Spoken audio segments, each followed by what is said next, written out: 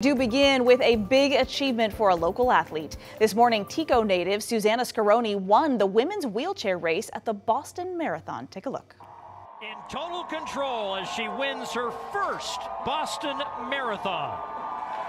Wow, oh wow. This is the first win in Boston for Scaroni. She had finished second twice before, including last year's race. Scaroni crossed the finish line with a time of 1 hour 41 minutes and 45 seconds, which is a full five minutes before her next closest competitor. Scaroni is also the reigning Bloomsday champion. We're still waiting to hear if she will be returning to Spokane this year to defend her title and participate in the race here in just a few weeks.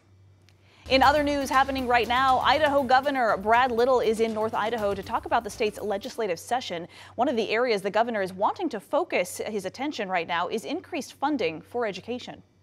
We are in the bottom 10% for starting teacher pay.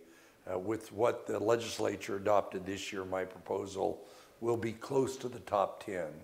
But we're still, you know, one of the highest paid states is Washington. So here in Coeur d'Alene and Post Falls, uh, it's still the, the pay, but it's much, much closer than it's ever been before. KREM 2's Shannon Mowdy is with the governor right now. She'll be asking him about some of the more controversial bills also passed this session, including further limiting abortion access. You can hear what the governor has to say coming up tonight on KREM 2 News at 4 o'clock.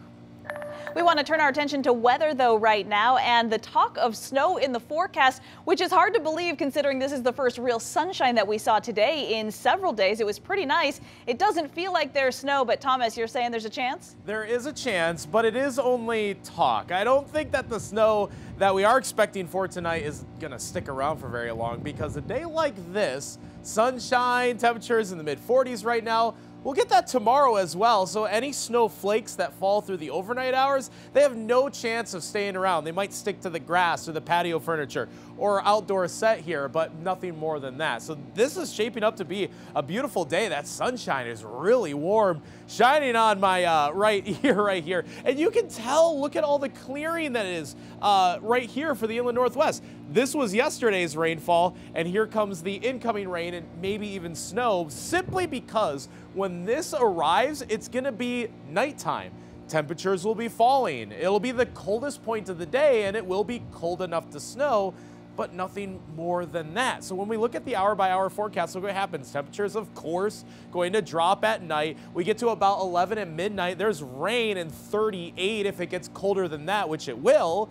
That rain will change to snow, but it will be wet it won't stick around for very long. It's just talk and nothing more. But beyond that, we do have a handful of warmer days ahead, and we'll cover that in just a couple minutes. All right, looking forward to it, Thomas. Thank you. Happening now at noon, police are asking for help to find two missing kids in Whitman County. One is 12, the other only seven years old. These two have not been seen since they went to bed on Saturday night. So take a look. This is a photo of those two missing kids.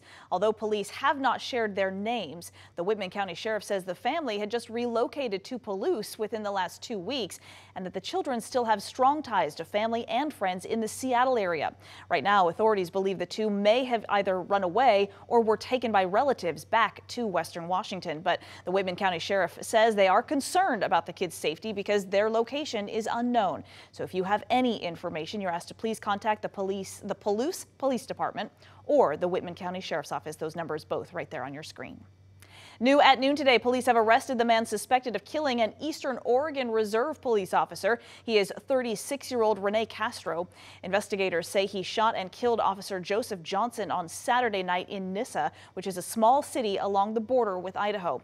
The officer responded to a call about a violent person and was told the man had just left in a vehicle. After a short pursuit, the suspect pulled over and then started shooting, killing that officer. Officer Johnson is survived by his wife and two children. Here in Spokane, the future of the Cannon Street Homeless Shelter is on the City Council agenda for tonight. Council will be talking about using the space as a different type of shelter moving forward. Nicole Hernandez is outside City Hall now with more. So right now the Cannon Street Shelter is a drop-in shelter for people experiencing homelessness. But tonight here at City Hall, Spokane City Council will be talking about turning the Cannon Street Shelter into a homeless respite facility instead.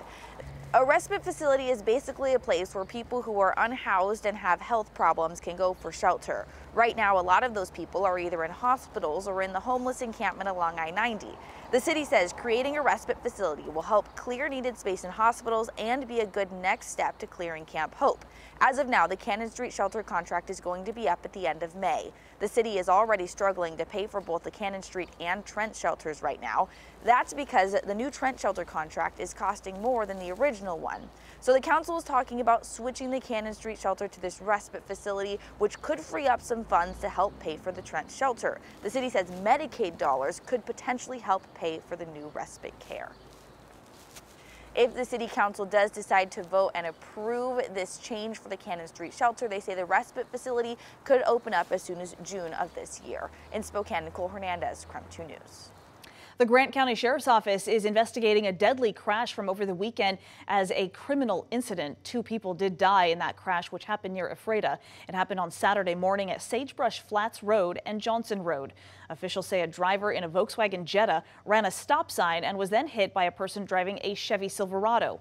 Both vehicles rolled down an embankment. One of them hit a utility pole, knocking it and the power lines down. Deputies believe the 18-year-old driver of the Jetta may have been intoxicated at the time of the crash. The sheriff's office identified the passengers who died as a 23-year-old Spokane man and an 18-year-old Ephrata woman. The sheriff's office says four other people also had to be taken to nearby hospitals.